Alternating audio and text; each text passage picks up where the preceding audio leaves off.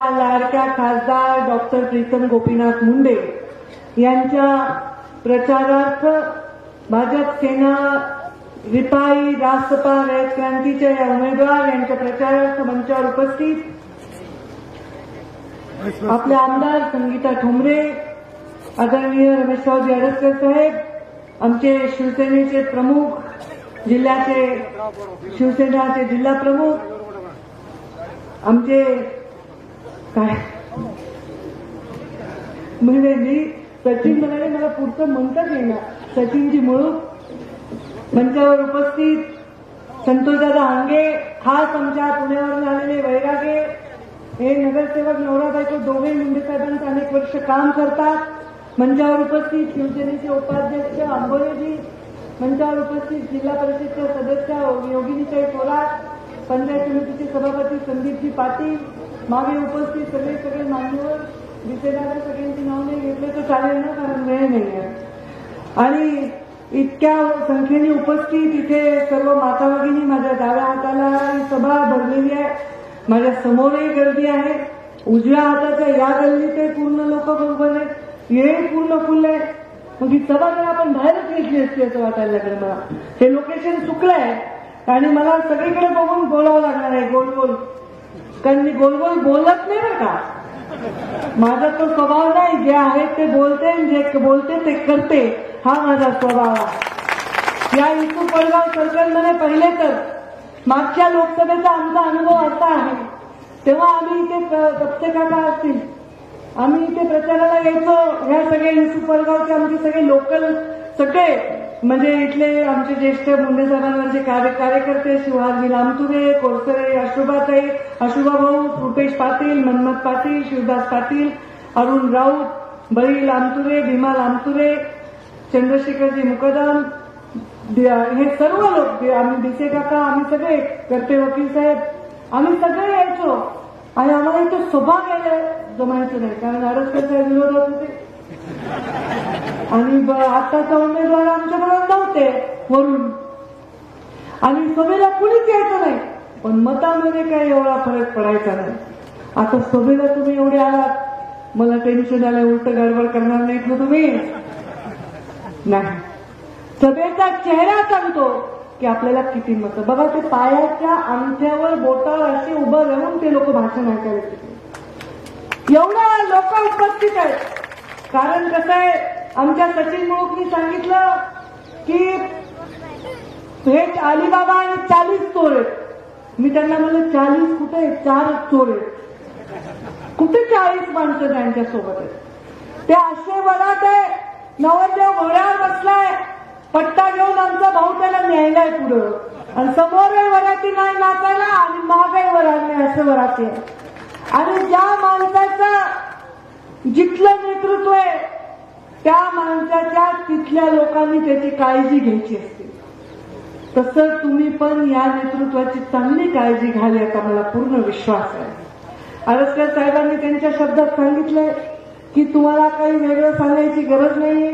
मलाही त्यांच्याविषयी काही वेगळं सांगायची गरज नाही. मला जे सांगायचंय ते माझ्या उमेदवाराविषयी सांगायचे डॉक्टर उमेदवार आपल्या. बरोबर किती गोड लेकरू आहे माझं.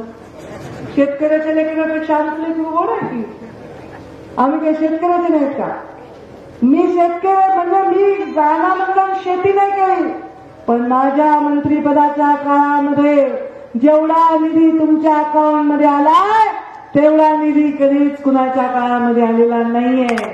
आणि म्हणून मी शेतकऱ्याच्या हिताचं काम करण्यासाठी ते माझं लेकरू परत एकदा संसदेमध्ये पाठवा असं आव्हान तुम्हाला करणार आहे. आमच्या माय मागणीला आहे. आमच्या वडीलधाऱ्या मंडळींना करणारे अहो हे वडीलधाऱ्या मंडळींचं राजकारण वेगळं. आणि आता हे सोशल मीडियावर काही जे राजकारण चाललंय ते वेगळं. किती लोक ते बघणार आहेत? किती लोक त्याच्यावर प्रभावित होणार आहेत? आज माझा या बीड जिल्ह्याचा एक पुरोगामी इतिहास आहे. या बीड जिल्ह्याचे पहिले खासदार परांजपे झाले परांजपे. या बीड जिल्ह्याने बुरांडेंना खासदारकी दिली या बीड जिल्ह्याने द्वारकादास मंत्रींना सुद्धा नेतृत्व दिलं. या बीड जिल्ह्याने मायक्रो मायनॉरिटीमध्ये असणाऱ्या केशर काकू क्षीरसागर यांना खासदार केलं. याने खासदारांची यादी मी वाचून दाखवते.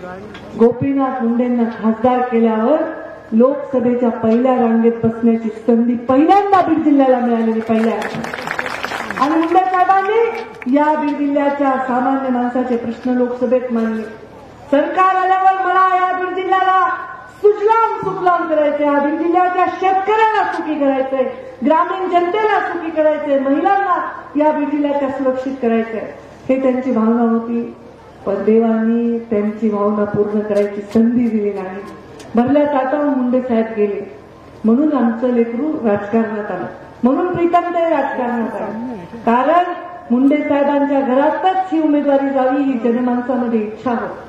पण पाच वर्षांमध्ये नॅशनल हायवेचं जाळं करून रेल्वेचा इथे अठ्ठावीसशे कोटी रुपयाचा बजेट आणून या रेल्वेला पूर्ततेकडे नेऊन या भागामध्ये विकासाचा एक महाविक्रम प्रीतम केला. केलाय मला सांगा प्रीतम ताईंनी जे महाविक्रम केलाय असला काही विक्रम केलाय का तुमच्या उमेदवारांनी समोरच्या? कशाचा तरी विक्रम केला असेल त्याने? कशाचा? कशाचा? किती विक्रम आहेत बापरे! विक्रमादित्य उमेदवार आहेत विक्रमादित्य उमेदवार. आता तुम्हाला एक विक्रम करायचा आहे. जी गडबड तुम्ही मागच्या जिल्हा परिषदच्या निवडणुकीमध्ये केली आणि ती गडबड पूर्णपणे तुम्हाला आता उलटी करायची आहे. का तुम्ही गडबड केली मला माहीत नाही पण तुम्ही स्वतःच्या जीवाला चुकत असताल की मी असं का केलं? तुम्हाला आता या युसुफ वडगाव सर्कल म्हणूनच सुरुवात करायची आहे. हे उमेदवाराचं सर्कल आहे. या उमेदवाराच्या सर्कलमध्ये मी एवढा निधी दिला आहे. अर्धे काम तो उमेदवारच करते. या उमेदवाराच्या सर्कलमध्ये इतके काम आपण दिलेले आहेत. ते काम पंकजा मुंडेंनी केलेत नारळ जरी यांनी फोडले तरी काम मी केलेले आहेत. माझ्या देशाचा प्रधानमंत्री कोण आहे बाबा सांग बघ तुम्हाला. कोण आहे देशाचा प्रधानमंत्री? नरेंद्र मोदी. घाबरायला काय झालं? तो सांग कोण म्हणलं इथे? कोण आहे नरेंद्र प्रधानमंत्री? सांग. आणि मुख्यमंत्री कोण आहे? थांबा त्याला डिस्टर्ब करू मुख्यमंत्री कोण आहे? सांग मला आपल्याला काय झालं? बरं मी कोण आहे? देशाचा प्रधानमंत्री नरेंद्र मोदी. देशाचा मुख्यमंत्री राज्याचे मुख्यमंत्री देवेंद्र फडणवीस. मी पालकमंत्री. आणि खासदार कोण आहे? छोटे बच्चेला विचारले मोठ्या बच्चेला नाही. आणि हे असं मी जर तिकडच्या सोबत विचारलं आष्टी घेऊन राहिला सगळे उत्तर देतात पटपट. उमेदवाराचं नाव पण पोचलेलं नाही. आणि मग देशाचा प्रधानमंत्री मोदी राज्याचा मुख्यमंत्री भारतीय जनता पार्टीचा तुमची पालकमंत्री भाजपची तुमच्या खासदार भाजपचा आमदार भाजपचा तर हे निधी आणले कुणी? हे निधी आणताना यांचं सरकार होतं तेव्हा आणले असते तर याच्यावर त्यांनी स्वतः तर क्रेडिट श्रेय आणायची गरज होती पण हे निधी आम्ही आणले या बीड जिल्ह्यामध्ये आता मी काल फिरत या युसुफ वडगावला यायचं म्हणलं तर मनक्याचे हाल होतो त्या प्रचार करताना. या भाग सर्कलमध्ये मी फिरलेली आहे मुंडे साहेबांच्या प्रचाराच्या वेळी संगीता डोंगरेंच्या प्रचाराच्या वेळी. खड्ड्यांमध्ये रस्त्याच्या आहे का रस्त्यात खड्डे करत नव्हतो? राष्ट्रवादीने जे तुम्हाला दिलं ते तुम्हाला दिलं होतं. चांगले खड्डे दिले होते रस्त्यात. पाणी नव्हतं. सगळं उजाड उजाड होतं स्वतःचे घरं भरत होते. हा? आणि आम्ही काय दिलं? आम्ही नॅशनल हायवे दिला चकाचक रस्ते दिले. बचत गटाच्या महिला आहेत का? सीआरपी कोण आहे सीआरपी उभं राहा बरं बेटा उभं राहा. किती बचत गट आहेत? पस्तीस. काही भांडवल आले का खेळतो भांडवल? किती आले? पंधरा हजार गुणिले किती बचत गट? पस्तीस. पस्तीस बचत गटांना पंधरा हजार. कर हिशोब संतोष. पंधरा गुणिले पस्तीस किती होतात? अजून काय आलंय? किती? प्रत्येकी. दहा दहा लाख आले ते. झालं का तुमच्याकडे पाच लाख पंचवीस हजार आले बचत गटांना. दहा लाखाचं कर्ज आलं अजून काय आले त्यांना येणार अडीच लाख मिळतील ना आता परत. मग तर तुम्ही लखपती झाल्या. आधी आणते का कधी बचत गटाला पैसे? कधी? आधी काही मंत्री व्हायच्या आधी रुपये तरी आलता का? कोणी यायचं का विचारायला सरकारकडून? कृषी सखी कोण आहे? आली नाही? बचत गटाला पाच लाख पंचवीस हजार. आणि दहा लाख रुपये या बायकांकडे माणसांनो जरा नीट राहा. एवढा शेतकऱ्याच्या आत्महत्या झाल्या परवा पेपरमध्ये बातमी आली. आता पेपरमध्ये चांगल्या बातम्या यायच्या आधी. आता इलेक्शनमध्ये जरा गडबड आहे. सगळ्या बातम्यांवर विश्वास ठेवू नका. ते जरा आता प्रत्येकाचे आपले आपले मजबूर आहे. माझ्या विरोधातली बातमी आली की पॅकेजेस म्हणून समजून घ्यायचं. कळलं ना? हा. आता या पेपरमध्ये बातमी काय आली? या शेतकऱ्यांच्या आत्महत्येवर आता बचत गटांमुळे परिणाम सकारात्मक झालाय. महिलांच्या हातामध्ये बीड जिल्ह्याचे पैसे आले आणि त्यामुळे कुठेतरी या दुष्काळामध्ये दिलासा मिळालेला आज अठ्ठावीस कोटी या तुमच्या गावामध्ये साडेपंधरा लाख रुपये. अशा अठ्ठावीस कोटी बीड जिल्ह्याच्या प्रत्येक गावात मी वाटले आहेत वाटले म्हणजे माझे घरचे नाही वाटले. खात्याचे. त्या महिलांना सक्षम करण्यासाठी. तुम्हाला अनुदान आता आरक्षण साहेबांनी विचारलं आलं की नाही तेरा हजार विमानात असेल. शेतकरी कर्ज माफ झालं असेल ना कुणाचं? सगळं हो हो हो, हो, हो म्हणा वाटायला एवढं आम्ही करायचं. किती गावामध्ये मागच्या दोन हजार चौदा मध्ये या गावामध्ये शौचालय असणारे किती लोक होते बरं? हातवर करा. मी आलेली इथे. आत्ता किती घरांमध्ये शौचालय आहे? हात वर करा. लाजू नका सगळं ना चुकलं किंवा हो आमचं. कुणी दिले पैसे? नरेंद्र मोदींनी पैसे दिले. घरकुल आलं का घरकुल?